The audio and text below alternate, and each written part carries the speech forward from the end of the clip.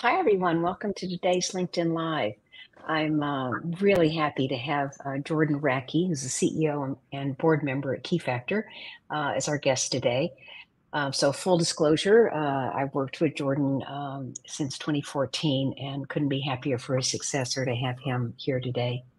Uh, so, Keyfactor is an identity first security solution for enterprises that helps to secure and orchestrate every digital key and certificate from multi-cloud operations to embedded IoT devices. We'll talk more about what that means in a bit, uh, and also about the tremendous success that the company's had.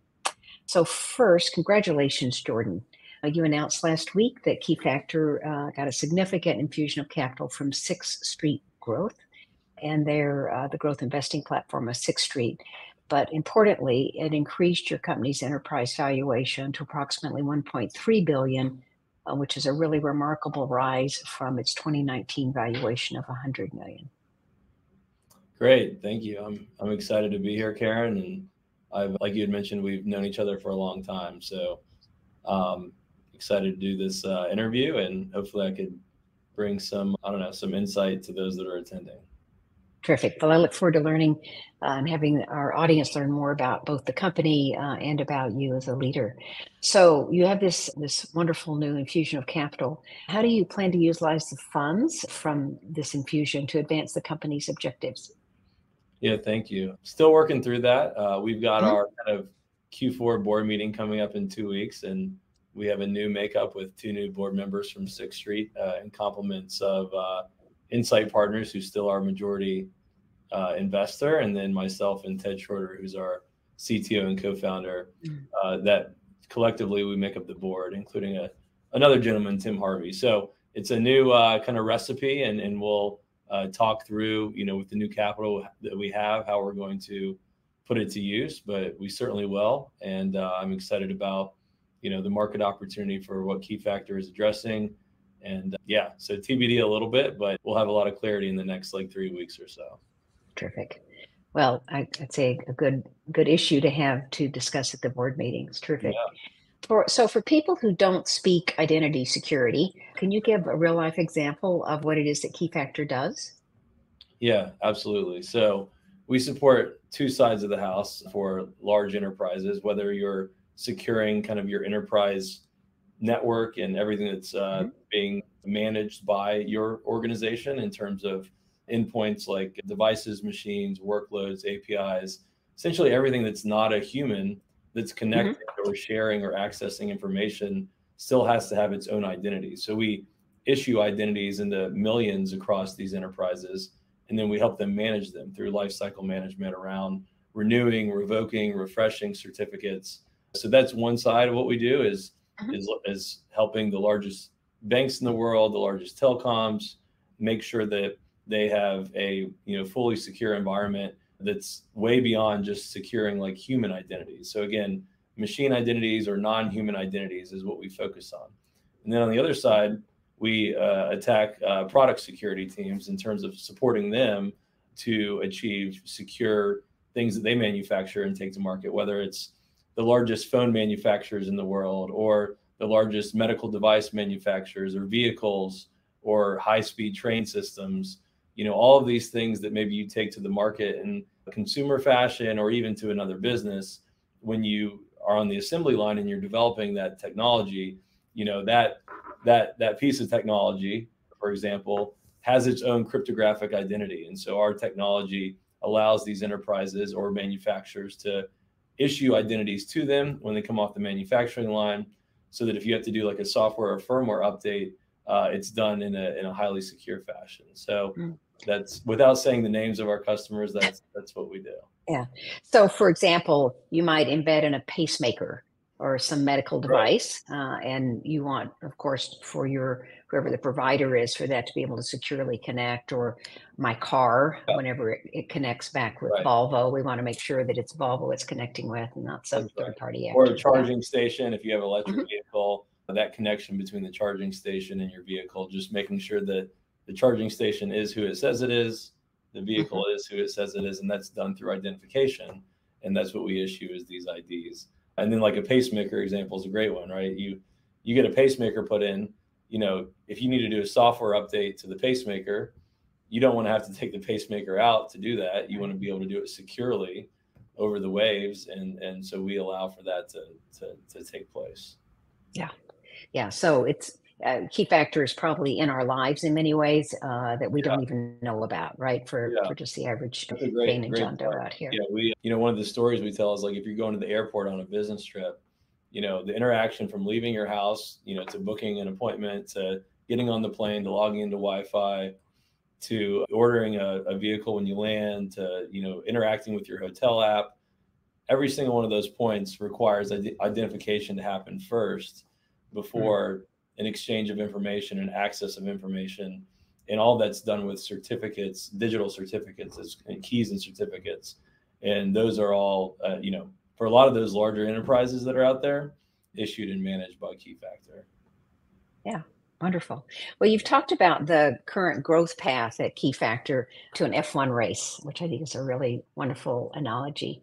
So maybe you could you could talk a little bit about why you think it's like an f1 race well, I mean, I, when we look at kind of the investments we're making in R and D and what we're doing organizationally to make sure we stay out in front of the innovation curve relative to our competition, one of the things that I always talk to our head of technology about is, you know, we want to make sure, you know, first of all, we, we are and have been in pole position in this space for some time now. We we were a startup for a while. We were kind of taking on the market. We've now become market leader, um, but we don't want to be satisfied there. So just because we're out in front the conversation I have with my team is we still want to make sure we're having the fastest laps on the track, and we still want to make mm-hmm. sure that we're not allowing our competition to close the gap. And so every time we're going through like budgeting cycles and talking about what we're going to do, like as we go into 2024, you know, when we look at kind of our R and D roadmap and what we're trying to achieve, uh, it is very much you know compared to things you know like a race or something where we just want to make sure we're widening that gap, and that allows us to go capture market share at a faster rate than our competitors. And so it's just one of the analogies. I mean, I, I've, I think many people probably latched on to F1 when they watched the Drive to Survive series on Netflix. Exactly. And, and yeah. that was that was a cool one. So I so now I'm I went to my first F1 race two weeks ago. Went to the F1 race in Austin at COTA, which was really cool. Um, but I don't want to over-index on on that. But that that's just one of the many you know things that we discuss. And you know the most important part is that we don't want to rest on our laurels and we don't want to be a business that's only focused on sales and marketing or only focused on r&d you know we are a company that has a very balanced strategy to our uh, growth right? We're not product led we're not sales led we really are a balanced you know business with proper investments across the board to make sure that we you know have a very sturdy foundation and infrastructure as an organization. Yeah. Well, I love that coming from a, a, former successful CRO moving into the CEO slot that because sales is typically a, a, central focus for many companies and yet you have it as just part of the ecosystem you just how do you, what are the benefits for the organization is that and how do you how do you keep the balance of all those different parts like the balance of what investments sorry yeah the, of investments and making sure that, that sales for example or technology would yeah. be another option isn't isn't uh, yeah, I mean, I, I you're not maximizing any of those. You're optimizing for the whole. Yeah, I mean, I think you just have to look at you know where your current strengths are and where it is relative to the market and where's the market going and making sure that you know you've only got a finite amount of resources in terms of spend and you have to just make sure that you know maybe one year it over indexes on sales and marketing a little bit but then you'll see an influx of customers that require you make sizable increases in your spend on the uh, on the customer side. And i'm not saying we're reactive in that we do one not thinking the other will come but you know, it ebbs and flows a little bit, yeah. and who gets a little bit more budget going into the coming year. Which again, budget negotiations are always a fun time of the year. So we're we're in the heat of that right now over the next two weeks as we get prepared for this uh, board meeting. Yeah, that's great. All right. Well, something that might benefit from analogy, but I don't have one. Post quantum cryptography yeah. migration. I'm going to say that 10 times fast. Close post quantum cryptography migration is a critical topic for cybersecurity. Can you explain briefly and for lay people what that means and how you're addressing the challenge and um, how you're helping organizations plan ahead for the quantum sure. computing era? Yeah. So generative AI has, has been all the buzz, and, and I think rightfully so for a lot of mm-hmm. uh, companies and kind of mainstream media. But I would say for security personnel, you know, quantum is is on the front page as well, and getting prepared for quantum. And so, you know, the idea of quantum computing is is a completely different way, longer algorithms for you know people to compute, for people to break uh, information, to leverage quantum computers to hack mm-hmm. into systems. And so, while quantum is maybe five, ten years from now in terms of the viability of the breaking to happen, you know, organizations like the NSA and NIST and others are already mandating that companies be prepared in a quantum resilient, mm-hmm. quantum ready fashion starting next year. There's algorithms that are getting approved at the beginning of next year. So a lot of our customers are thinking critically about how do they transform the identities of the assets in their enterprise or the assets that they're taking to market through IoT manufacturing so that those algorithms are long enough and written in a way that are quantum resilient to, to make sure that an attack from a quantum computer essentially couldn't hack into your environments. And that that's a really uh, a very real thing that our customers are facing today mm. in terms of preparing for that. And we're at the forefront of that. I mean if you think about our technology we discover and find all of your identities across your enterprise. So we find the vulnerable places we find the places that might you know be mo- more vulnerable to attacks. And we work with them now on thinking through a quantum ready strategy so they can go ahead and start shifting starting next year replacing uh, certain algorithms with quantum resilient ones. And that's just a, a, huge resiliency strategy for our customers. The ones that right now it's mostly in like Fed and like public sector, also those that sell uh, to the Fed and public sector, whether it's mm-hmm. hardware, software, large banking institutions. But what we found historically in cyber is that that's you know very often where it starts, and then it starts you know from a technology adoption curve or just like a uh, mindset and, and, operational adoption, it will trickle down throughout the rest of you know large enterprises and even mid enterprises over the next couple years. So I I really see this quantum resilient proofing effort starting now, and I think it's really going to hit a height and, and a spike in demand, sustained spike. But, but we'll see you know the majority of companies really starting to make that transformation over the next 24 months or so 24 36 months yeah so something we could put in the important, not yet urgent category. Uh, but I think smart companies like to uh, need to spend time um, yeah. in in that category before things get urgent, and you have yeah. to be. I would say it, it's so important though that you don't want to get to a point where it's urgent and you haven't right. been planning for it. So I think you know a lot of companies are already planning. Migrations are starting next year, and I think you know in 2025 is the best interest for most all companies to really have that that plan be ready. because yeah. you know we're working with the largest companies in the world and they can't like flip a switch and change their entire strategy mm-hmm. in one day. So there's a lot of crawl walk running and and planning and iterative you know improvements and and that really needs to start now so. All right. So heads up to anybody who has not yet uh, taken a look at that. You also just released a new research report called um, digital trust in a connected world navigating the IoT security challenges. Can you talk a little bit about the key findings that you had covered in that report? So, I mean, a lot of the findings was that the gaps between the current status quo or the historical status quo of enterprise security is continuing mm-hmm. to widen.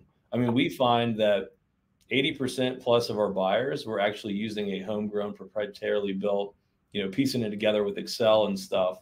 And that was working you know, for some time. But as organizations become more modern, as organizations move to like multi-cloud, hybrid cloud, multi-public cloud, like with Azure and AWS, et cetera, mm-hmm. as digital transformations transpire, the gap between what was working and the status quo and like where the company is going is continually widening. And so these companies are having to make compromise decisions. They're either, you know, the security teams either allowing the company to, if they haven't purchased us, or you know a viable competitor to us or something you know what's happening is the security team is either letting the developers and the rest of the organization transform and move and not slow them down and it's creating massive security exposure gaps and, and potential sizable outages that could be financially impactful or they're just telling everyone else they need to slow down and your security team is actually becoming a bottleneck to the strategic growth that you're trying to to take on. So you know, I think the biggest takeaway is that gap is just widening at at paces that's never been seen before. So, you know, we feel you know very good about where we're at in the market, given that we do believe that it's 80% plus you know, blue ocean, greenfield mm. organizations that have been trying to do it themselves. But, you know, the the idea of like this is like a vitamin and like this is something that's pre- a preventative solution is really moving from that to more of like a painkiller and the idea that you know pain is really starting to be found in in the mm. pain of customers and the pain of prospects that we talk to. Not customers because once they're a customer you know they don't have these issues but the pain for prospects is is is stronger than ever right now. And and unfortunately a lot of companies don't move until they are feeling the pain but you know we we are are uh, well positioned right now to support them. And and I yeah to answer your question that was one of the biggest takeaways is that the gap is just the gap wider than ever before in terms of what they have and how it can support where the company's going. And so people need to move quickly to address that. Yeah great. Um, we'll put a link to that in the notes underneath this interview for anyone who's who's watching later or wants to come back and and click into that. So, Jordan, let's pivot just a little bit. I want to talk about leadership, and you are a first time CEO. I'd love if you would share a bit about what led you to transition from the CRO role to the CEO role and how you were selected for this role by Insight Partners. Yeah, thank you. So, I mean, the the backstory there is that I, yeah, I, I came up through sales. I was an SDR originally, which was really fun being on the front lines. I moved to a rep, I moved to sales leadership, I moved to CRO where I oversaw sales and marketing and kind of go to market operations. And then I was just at a board meeting with our chairman, who's the same chairman of my prior company where I was a CRO. And after the board meeting, he just pulled me inside and said, Hey, listen, we just invested in this business, Keyfactor, It's got a great product market fit, great technology. And I think, you know, your skill set around designing a kind of global go to market and distribution network would be extremely complimentary. And so that's where it came from. It, you know, I, I guess in the back of my head, I always thought I, I, I, could be and would want to be a CEO, but you know, I'll give my chairman, Mike Triplett from, from Insight Partners a lot of credit. He's the one that kind of pushed me in this direction. And, you know, I couldn't be more thrilled about it. So I've, I've enjoyed the, the transformation. I, well, my background is in sales.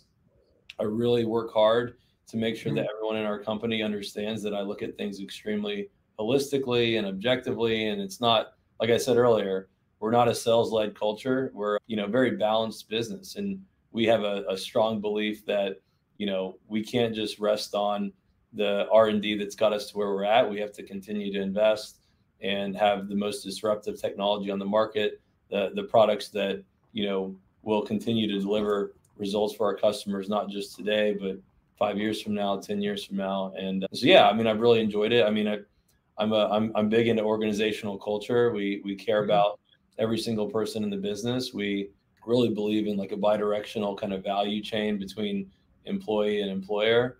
You know, we won a lot of a lot of cultural awards, which those are just awards. I mean, they're great and all, but at the end of the day, like you just got to enjoy the journey and you got to enjoy the people mm. you work with and have have a good time, kind of you know growing a company and at the pace that we're growing it and at the pace we're growing there's going to be challenges and you know you got to be agile and you've got to be able to adapt and so you know a great culture is the difference in bending and breaking i'd say uh, you know as an organization is going through the growth we're going through while you know facing all of the kind of external headwinds right? I mean i i took over the business in the middle of 2019 and you know six months later covid hit and then we hit like inflationary times and you know now unfortunately you know there's been multiple wars that have broken out across the world. So there's a lot of you know challenges right now out there. And so you know we're just so heavily committed to providing a great opportunity and experience for our, our, our team but we also expect a lot a lot out of them as well so it's it's a good good balance and you know we're a team of adults so we like to say that we care about everybody but we don't coddle anybody so you know we've got work to do and and so that's a big focus for us as a company yeah, care not coddle. That's great. I think about that on a continuum. I definitely want to be over on the care side. That's that's great, Jordan. Thank you. I was going to ask you about your significant challenges, but you just you just rattled those off. Yeah. Uh, but note that you have led you and your team have led Keyfactor to an 11x growth over the past four years during all of that. So you mentioned your culture as a key part of that. Is there anything else that you would you would attribute your success to?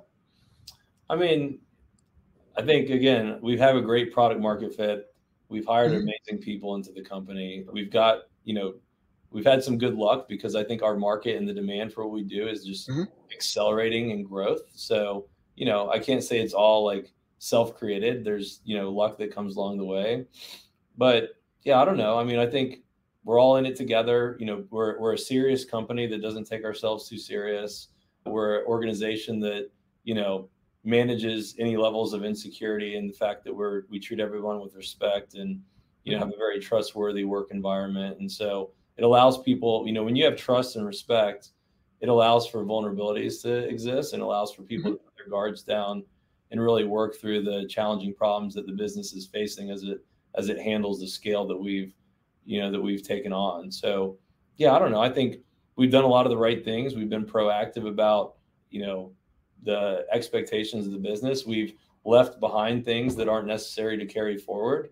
You know we talk a lot about innovation. We talk a lot about innovation and agility. And the way to do that is you know it's not just innovation is not just about building new things. It's about not only building new but getting rid of kind of the lagging tail that's not necessary anymore sure. right? So you know you can't you can't hold on to things because of like just you know personal feelings towards it or what or whatever. And and so we do a good job i think of designing a highly objective strategy that's not subjective to you know just the past. And and i think also when we bring people into the company like we don't do like culture fit interviews because we don't want people to have to fit into our culture.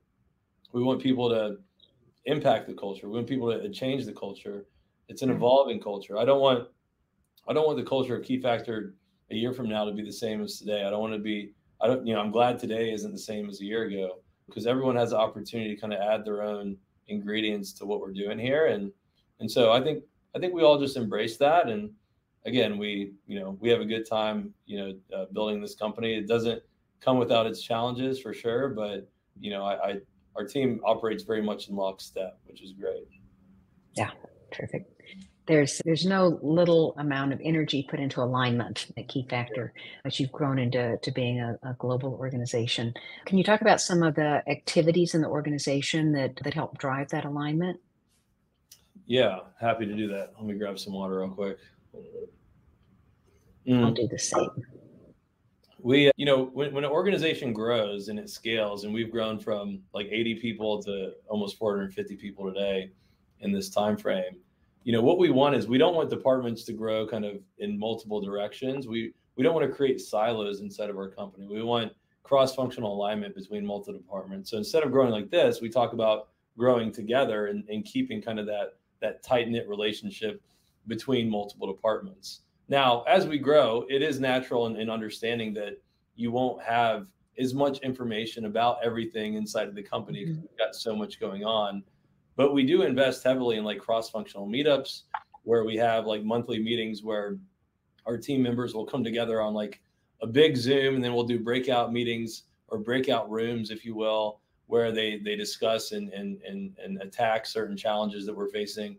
And those rooms are designed to be cross functional. So you'll very rarely see people from your same departments inside of these meetings.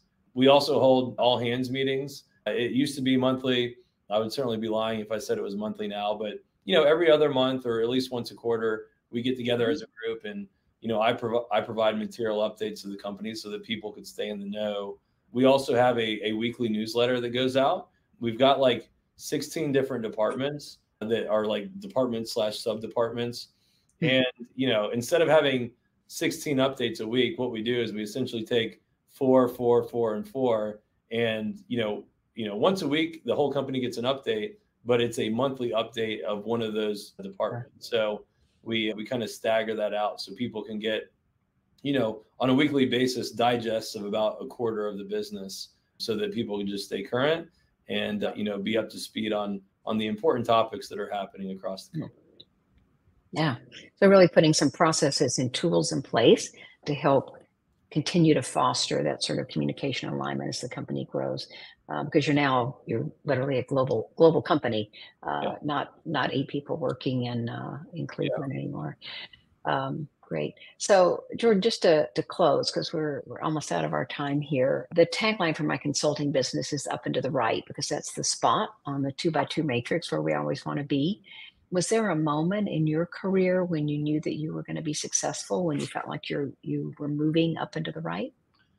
You know, I, I wouldn't say it's just one moment. I mean, I think the hmm biggest thing that I realized pretty early on in my career is that I was pretty, I, I was able to self-analyze pretty, pretty well and improve iteratively every single day and learn from the good things I do, learn from the mistakes. I mean, I've definitely had a lot of mistakes along this way, but you know, the biggest thing, you know, to move up into the right, I think it's it's not just one kind of milestone. I think it's every day just getting a little bit better at what you do and learning and improving and you know again just being critical of yourself not in a way where it's detrimental but just really having that self-reflection and you know making sure that you know you're you're reaching out to peers and mentors and people that work for you to make sure you don't have blind spots and things like that so you know just having you know a, a focus on i mean even when i was in sdr i just really thought about you know the daily process and how I can improve hmm it. And and then over time, you look back and you're a lot higher up and to the right than you were, you know, maybe a year ago or two years ago or three years ago. So I wouldn't say it was one one event. I would just hmm say it's, you know, just continuing to to focus on improvement.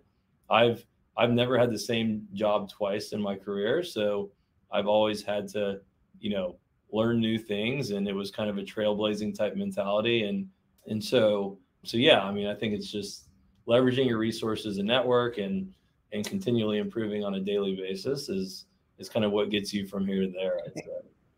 All right. Thanks so much, Jordan. I really appreciate your time today. Yeah. And we've been here with uh, Jordan Rackie, who's the CEO uh, and board member of Keyfactor, an identity for security solution for enterprises. Thanks again for joining us and take good care. All right. Thank you, Karen. All right.